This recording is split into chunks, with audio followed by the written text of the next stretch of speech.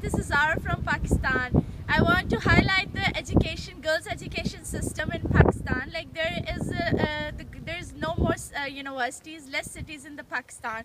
So I would build up this uh, universities in Pakistan, uh, different cities, so that girl can have an easy access of education. They won't let your, their families go away from their families, and they can have, a, you know, uh, they can have their studies in their own cities. Thank you so much. Have a good day.